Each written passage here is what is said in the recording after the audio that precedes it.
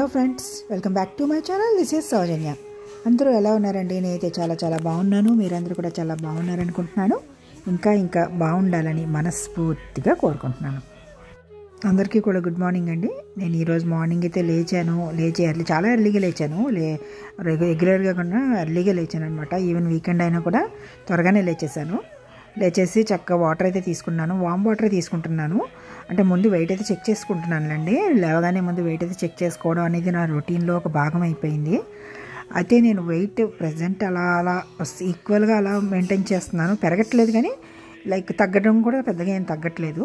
అలా మెయింటైన్ చేస్తున్నాను. ఎక్కడ ఇంతకుముందు తగ్గిన వెయిట్ పెరగకుండా మెయింటైన్ చే మెయింటైన్ అయితే చేస్తున్నాను. సో మొత్తానికి మార్నింగ్ అయితే వెయిట్ అయితే చూసుకుని నోట్ చేసుకుని ఇమీడియట్గా వాటర్ అయితే తీసుకున్నాను. వామ్ వాటర్ తీసుకున్నాను. తర్వాత నా ఫాస్టింగ్ వచ్చేసి ఏమవుతుందంటే మార్నింగ్ నేను లేచినప్పటి నుంచి నా ఈటింగ్ విండో వచ్చేసి ట్వెల్వ్ ఓ క్లాక్ పెట్టుకున్నాను. అప్పటి వరకు నేను వాటరు తర్వాత బ్లాక్ కాఫీ గ్రీన్ టీ అలాంటివన్నీ తీసుకుంటూ ఉంటాను అనమాట అంటే మనకి ఫాస్టింగ్ టైంలో జీరో షుగర్ అవి తీసుకోవాలి కదా క్యాలరీస్ లేనివి జీరో క్యాలరీసే తీసుకోవాలి కదా. సో మొత్తానికి నేనైతే ఈ ఫాస్టింగ్ అయితే చేస్తూ ఉన్నాను మార్నింగ్. ఈ లోపు ఏం చేశానంటే వెంకట బయటకు వెళ్తానన్నారు. సరే కదా అని చెప్పి కర్రీ చేసేద్దామని మార్నింగ్ మార్నింగే నేనైతే కాలీఫ్లవర్ ఒలిచేసాను ఇంక వీడియో అది తీయడం కుదరలేదు. సో వలిచేసి కర్రీ అయితే చేసేస్తున్నాను అనమాట మీకు ఆల్వేస్ చెప్తూ ఉంటాను కదా కాలీఫ్లవర్ వచ్చేసి ఎప్పుడు పువ్వుల్లాగా వలవాలి కట్ చేయడం కన్నా కత్తితో పెట్టి కట్ చేయకూడదు. కట్ చేస్తే ఇలా రజం కింద వచ్చేస్తుంది అనమాట రజం కింద వచ్చేయడం వల్ల కర్రీ అస్సలు బాగా రాదు. అంటే బాగా రాదు అంటే కంపేర్ విత్ ఇలా ఒలుచుకొని చేసుకున్న కర్రీ కన్నా మాత్రం బాగుండదు. సో ఒకసారి ట్రై చేసి చూడండి ఇలా చేసుకోవడానికి. ఇది ఒక్కటే బయటికి మనం పడేస్తున్నాం అనమాట దానికి ఆకులు కూడా నేను మొన్న చట్నీ చేసి చూపించాను మీకు.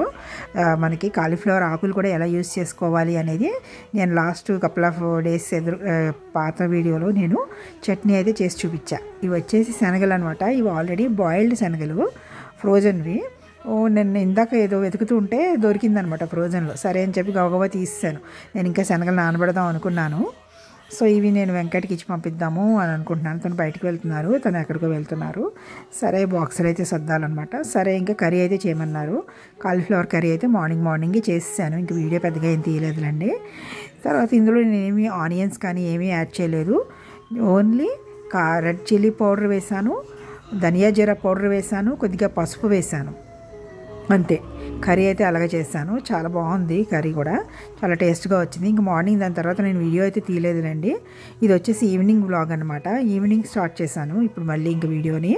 మధ్యలో ఇంక నేను ఏ వీడియో తీయలేదు. ఎందుకంటే నేను ఎస్టర్డే చేసిన కోకోనట్ రైస్ ఉంది నాకు. సో అదే తినేసాను అనమాట మధ్యాహ్నం నేను నా లంచ్కి. ఇంకా దాంతో ఇంక అదే నా ఫుడ్ అనమాట డే మొత్తానికి. సో ఇంక నేను ఇంకేమి చేసుకోలేదు. సో ఇంక నేను వీడియో కూడా ఏం తీయలేదు. దాని తర్వాత ఇప్పుడైతే నేను వచ్చేసి సాయంత్రం వెంకట వచ్చేటప్పటికి బెండకాయ పులుసు చేద్దామని ప్రయత్నంలో ఉన్నానమాట నేను ఆనియన్స్ అయితే తీసి పెట్టుకున్నాను. తర్వాత బెండకాయలు తీసుకుంటున్నాను ఫ్రోజన్ బెండకాయలేండి కట్ చేయని అవసరం లేదు. జస్ట్ తీసి వాటర్లో వేసుకోవాలి. ఆ ప్యాకెట్ ఏంటంటే ఫ్రోజన్ ప్యాకెట్ తీసుకుని వెళ్ళి షింక్లో వాటర్ కంప్లీట్గా నింపేసి వేడి నీళ్ళలా గోరువెచ్చని నీళ్ళలాగా ఆ ప్యాకెట్ తీసుకువెళ్ళి అందులో వేసేస్తే తొందరగా డిఫ్రాస్ట్ అయిపోతాయి అనమాట సో దానికోసం అని చెప్పి బయట తీసి పెట్టుకుంటున్నాను. ఇంకా పచ్చిమిరపకాయలు యాక్చువల్ టమాటోస్ తెచ్చుకోలేదు నేను. షాపింగ్కి వెళ్ళలేదు నేను. సో ఓన్లీ ఆనియన్స్ బెండకాయతోనే చేసేస్తున్నాను పులుసుని. మామూలుగా అయితే టమాటో కూడా వేస్తాను ఈ పులుసులో. టమాటో కూడా చాలా బాగుంటుంది. అసలు యాక్చువల్గా చామదింపుల పులుసు చేద్దాం అనుకున్నాను నిజంగా అయితే. కానీ నవ్య వస్తానని చెప్పింది. ఎప్పుడు వస్తుందో కరెక్ట్గా తెలియదు నవ్యకి చామదింపుల ఫ్రై అంటే చాలా ఇష్టం అనమాట సరే అయితే మొన్న ఏమైందంటే తనకి దుంపలు పెట్టడం అంత సేఫ్ కాదు కదా. ఫీవర్ టైంలో దుంపలు లాంటివి పెడితే అంత తొందరగా అరగవు. సో అందు గురించి అని చెప్పి నేను పెట్టలేదనమాట తను ఉన్నా కూడా ఇంట్లో. అందుకే నేను ఫ్రై చేయలేదు లేకపోతే చేసేదాన్నే. సరే ఇంకా తను అప్పుడే పాడవు మంచిగానే ఉన్నాయి దుంపలు. తను వచ్చిన తర్వాత చేసి పెట్టచ్చు అని చెప్పి నేను ఆపాను. వస్తుంది అనుకుంటున్నాను ఈ వీక్లో. సో అప్పుడు నేను చేద్దాము ఫ్రై చేద్దామని చెప్పి ఉంచానమాట చామదుంపలు సో ఇంకా మామూలు అన్ని ఫ్రోజన్వే ఉన్నాయి. మామూలు ఫ్రిడ్జ్లో అన్ని కూరలు అయిపోయాయి. ఇంకేమీ లేవు.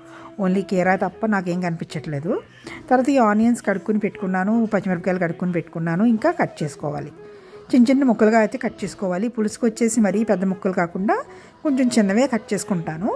వెంకటికి ఇష్టం ఉండదు పెద్దగా ఉంటే. నేను మామూలుగా అయితే పులుసుల్లో నేను పొడుగ్గా కట్ చేసి వేసేస్తాను అనమాట సాంబార్లో వేసుకుంటాను చూసారా? ఇలా పొడుగ్గా ఇప్పుడు చూపిస్తున్నాను చూసారా? అలా అలా పొడుగ్గా వేసేస్తాను. కానీ వెంకటికి అలా నచ్చదు. సో అందు గురించని ఇంకా చిన్న చిన్న చిన్న చిన్న మొక్కల కింద కట్ చేస్తున్నాను అనమాట అంతా కూడా రెండు ఉల్లిపాయలు వేసేసాను. అంటే ఇప్పుడు చేసుకుంటే రేపు కూడా ఉంటుంది కదా రేపు మధ్యాహ్నానికి కూడా ఉంటుంది కదా అని చెప్పేసి చేస్తున్నాను అనమాట సో చాలా మటుకు చిన్న చిన్న ముక్కలే కట్ చేస్తాను పులుసులో ఇలాంటి పులుసుల్లోకి. మన చామదుంపల పులుసు కూడా సేమ్ ఇదే స్టైల్లో చేసుకోవచ్చు. ఓన్లీ థింగ్ ఏంటంటే చామదుంపల పులుసుకి కంపల్సరీ టమాటా ఉండాలి లేకపోతే మీకు టేస్ట్ రాదు. అసలు ఈ మీకు బెండకాయ పులుసుకి టమాటా లేకపోయినా పర్వాలేదు మనం అడ్జస్ట్ చేసుకోవచ్చు. కానీ చామదుంపల పులుసుకి అలా కాదు ఖచ్చితంగా టమాటో చేతి ఉండాలన్నమాట. సో ఇలాగ నేను కొద్ది ఒక ప్యాన్ తీసుకున్నాను కొంచెం ఆయిల్ అయితే వేసుకున్నాను. ఇంకా పోపు అలాంటివి ఏమి ఉండవు దీనికి. డైరెక్ట్గా ఆనియన్స్ వేసుకున్నాను పచ్చిమిరపకాయలతో కలిపి ఫ్రై చేసుకున్నాను. కరివేపాకు వేసుకోవచ్చు. నాకేమో కరివేపాకు ఏమైందంటే ఫ్రోజన్లోకి వెళ్ళిపోయింది. అది కనిపించట్లేదు నాకు. చాలా ఉన్నాయి ఫ్రోజన్లో చేయి పెట్టాలంటే చల్లేసేసి నాకు కష్టమైపోతుంది. వెతకడానికి ఇబ్బంది అయ్యి నేను వెతకట్లేదు అనమాట కరివేపాకుని. అందుకని వేయట్లేదు దాని తర్వాత కొద్దిగా పసుపు అయితే వేసాను నేను పులుసు పులుసు అలాంటి వాటిలో కంపల్సరీ పసుపు అయితే వేస్తాను. సో పసుపు అయితే యాడ్ చేశాను. పసుపు వేసుకుని చక్కగా ఫ్రై చేసుకోవాలి. అంటే బాగా ఎర్రగా ఏం కాదు. ఊరికే పచ్చిదనం పోయే వరకు ఫ్రై చేసుకుని దాంట్లో కొద్దిగా జింజర్ గార్లిక్ పేస్ట్ యాడ్ చేసుకోవాలి. నేను కొంచెం జింజర్ గార్లిక్ పేస్ట్ వేస్తాను. లేదు అంటే కొన్ని పులుసుల్లో ఏంటంటే ఇంగు వేసిన పులుసులు కూడా ఉంటాయి. కానీ ఈ పులుసు వచ్చేసి జింజర్ గార్లిక్ పేస్ట్తో మసాలా పులుసులాగా చేసుకుంటున్నాను అనమాట సో అందుకని జింజర్ గార్లిక్ పేస్ట్ అయితే వేసాను ఇలా ఫ్రై చేసుకోవాలి. మరీ అంత ఎర్రగా ఏం ఫ్రై చేయలేదు ఆనియన్స్. ఊరికే పచ్చిదనం పోయే వరకు మాత్రమే ఫ్రై చేశాను అనమాట టమాటోస్ ఉండింటే ఈ టైంలో వేయాలి. టమాటో వేయట్లేదు కదా ఇప్పుడు మనం. సో దీని తర్వాత ఇంకా బెండకాయలు వేసుకోవడమే డైరెక్ట్గాను. బెండకాయలు కట్ చేసి వేసేసుకోవడమే. తర్వాత బెండకాయలు వేసుకున్న తర్వాత ఏంటంటే మనకి బెండకాయ బెండకాయలాగే ఉండాలి పేస్ట్ అవ్వకూడదు అని అనుకుంటే మాత్రం మనం ఏం చేయాలి అంటే కొద్దిగా సాల్ట్ యాడ్ చేసేసుకుని సరిపడా సాల్ట్ యాడ్ చేసుకుని సాల్ట్ కావాలంటే తర్వాత కూడా యాడ్ చేసుకోవచ్చు. కానీ ఉడికేటప్పుడు వేస్తే బాగుంటుంది. తర్వాత వాటర్ అయితే యాడ్ చేసుకున్న తర్వాత చింతపండు వేసేసుకోవాలి. చింతపండు కనుక నా దగ్గర పేస్ట్ ఉంది కాబట్టి నేను వాటర్ ముందు వేసుకుని అందులో పేస్ట్ వేసుకుంటున్నాను. మీకు పేస్ట్ లేకుండా ఓన్లీ చింతపండే ఉందనుకోండి కొంచెమే వాటర్ వేసుకుని చింతపండు నానబెట్టుకుని తీసుకున్న వాటర్ ఏదైతే ఉంటుందో ఆ వాటర్ వేసుకోండి. లేకపోతే రెండు వాటర్స్ కలిపితే ఎక్కువైపోతుంది పులుసులోకి.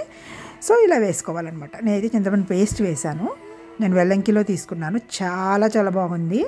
అయిపోయింది ఆల్మోస్ట్ ఇంకా. ఇంకొకసారికి వస్తుందేమో అంతే. నేను కొంటే కొనాలి లేదంటే ఇంక మామూలు చింతపండే వాడతాను.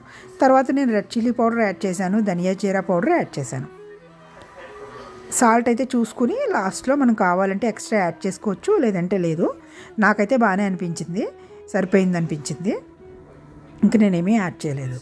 ఇంకా మరగాలన్నమాట. ఇది మరిగి మనకి బెండకాయ ఉడకాలి.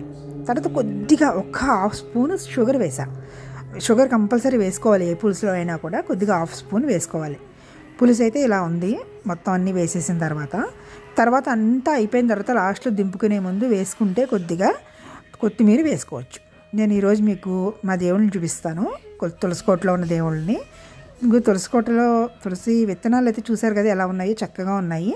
ఆ విత్తనాలు పడే మొక్కలు ఆటోమేటిక్గా వచ్చేస్తాయి అనమాట ఒక ఒక తులసికోటలోనేమో శివుడు ఉన్నారు. శివుడు పార్వతీ ఉన్న లింగం ఉంటుంది. ఒక తులసికోటలోనేమో సాయిబాబా ఉంటారు.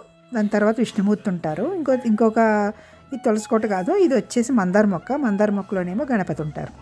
సో అలాగే దేవుళ్ళని పెట్టుకున్నాను. నేను వాటర్ అది పోసినప్పుడు అభిషేకం కింద అయిపోతుంది కదా. అందు గురించి అని దేవుళ్ళని తీసుకుని వెళ్ళి అందులో పెట్టుకుని కొంతమంది పెట్టకూడదు అంటూ ఉంటారు. కానీ నేను మాత్రం నాకు అది ఈ పద్ధతి నచ్చింది. ఎందుకంటే మొక్కలకి చక్కగా నీళ్ళు పోసుకుంటూ తులసి మొక్కకు కూడా నీళ్ళు పోసుకుంటూ ఆ వాటర్ తోటి అభిషేకం కూడా అవుతుంది. ఖచ్చితంగా మనం తులసి మొక్కకి నీళ్ళు పోస్తాం కాబట్టి అభిషేకం చేసుకున్నట్లు అవుతుంది. అదే మనం దేవుడి గుట్లో ఉన్న లింగాలకి వాటికి నీళ్ళు పోసుకుని అభిషేకం చేసుకోవాలి అంటే అవ్వచ్చు అవ్వకపోవచ్చు. ఒకరోజు పూజ చేయొచ్చు చేయకపోవచ్చు కుదరచ్చు కుదరకపోవచ్చు. అది మొక్కల కంటే కంపల్సరీ నీళ్ళు ఏదో టైంలో పోసుకుంటాం కదా. సో అందు గురించి అని చెప్పి నేను అలా పెట్టుకున్నాను అనమాట సిస్టము. కంపల్సరీ రోజు పోసుకోవాలి అని చెప్పి. నేను పోయలేకపోయినా ఏదైనా రీజన్ వల్ల మా ఇంట్లో వాళ్ళు ఎవరో ఒకరు పోస్తారు. సో మొత్తానికి పైన కౌంటరు ఇవన్నీ క్లియర్ చేసుకుంటున్నాను క్లీన్ చేసేసుకుంటున్నాను. క్లీన్ చేసుకుని జస్ట్ పులుసు అది అటు ఇటు తిప్పుకుంటున్నాను అనమాట ఫ్రై చేసుకుంటున్నాను. సో మొత్తానికి పులుసు అయితే అయిపోయిందండి. చూసారు కదా? దీంట్లోకి మనం కావాలంటే ఫస్ట్ మనం ఫ్రై చేసుకున్నప్పుడే ఆయిల్ వేసుకున్నప్పుడే నువ్వు పప్పు కూడా వేసుకోవచ్చు. నేనైతే ఈసారి ఏమీ వేయలేదు. సో పులుసు అయితే రెడీ అయిపోయింది. తర్వాత ఈ పులుసు చక్కగా వైట్ రైస్ తర్వాత కీరా ఉంటుంది కదా? కీరా కట్ చేసుకుని సలాడు పక్కన పెట్టుకుని తింటే సూపర్గా ఉంటుంది. చాలా చాలా బాగుంటుంది ఫుడ్ నాకు అంత ప్లేటింగ్ చేయడం కుదరలేదు అందుకే చెప్తున్నాను. పులుసు ఒక బౌల్లో వేసుకుని చక్కగా వైట్ రైస్ ఒక ప్లేట్లో పెట్టుకుని కీరా ముక్కలు సన్నగా కట్ చేసుకుని పెట్టుకుని చక్కగా తింటే సూపర్ అనమాట పైన కొద్దిగా కొత్తిమీర జల్లుకుంటే చాలా చాలా బాగుంటుంది. నేనైతే ఇంగ్లీష్ కీరా వాడతాను. చూడండి చూపిస్తాను. ఇది చూసారు కదా ఎలా ఉన్నాయో కీరాలు? ఇంగ్లీష్ కీరా అంటారు వీటిని. సో వీటి సీడ్లెస్ అనమాట సీడ్లెస్ ఇవి. మామూలు కీరాలు డిఫరెంట్గా ఉంటాయి. డార్క్గా ఉంటాయి కదా కొద్దిగా. సో అవి డిఫరెంట్గా ఉంటాయి. వాటికన్నా ఇవి టేస్ట్ బాగుంటాయి. వైటమిన్స్ కూడా చాలా ఎక్కువట. ఒకసారి ట్రై చేసి చూడండి. టేస్ట్ కూడా చాలా బాగుంటుంది తినడానికి కూడా. జ్యూస్ కూడా చాలా టేస్ట్గా ఉంటుంది. సో ట్రై చేయండి. ఈ వ్యాల్డ్ వీడియో అయితే ఇదేనండి. మీకు నచ్చిందని అనుకుంటున్నాను. మీకు కనుక నచ్చితే తప్పకుండా నా వీడియోని లైక్ చేయండి. తప్పకుండా ప్రమోట్ అవుతుంది మీరు లైక్ చేస్తే. మళ్ళీ ఇంకొక మంచి వీడియోతో మళ్ళీ కలుద్దాము. మీరు మాత్రం మర్చిపోకుండా సబ్స్క్రైబ్ కూడా చేసుకోండి. చూస్తూ కనుక సబ్స్క్రైబ్ చేసుకోకపోతే మళ్ళీ రేపు ఇంకో వీడియో పెడతాను. తప్పకుండా చూడండి. ఓకేనా? Thank you for watching my videos. Thank you.